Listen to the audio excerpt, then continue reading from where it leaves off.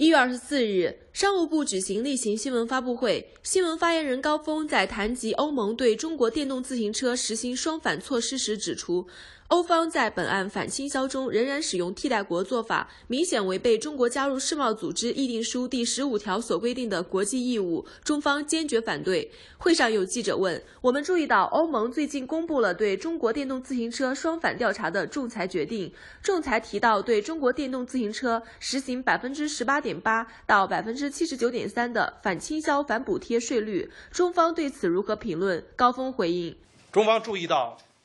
欧委会。”不顾相关业界的反对，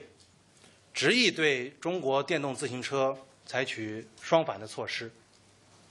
我们对欧方调查以及最终裁决与世贸组织规则的一致性高度关切。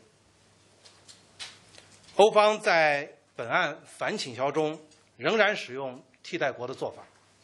明显违背中国加入世贸组织议定书第十五条所规定的。国际义务，我们对此坚决反对。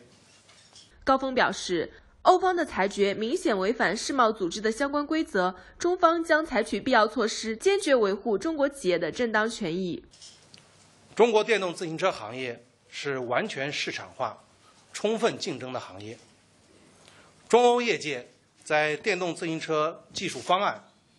配套供应链等方面有着广泛的合作。欧方的裁决既没有真实反映中国电动自行车行业的市场状况，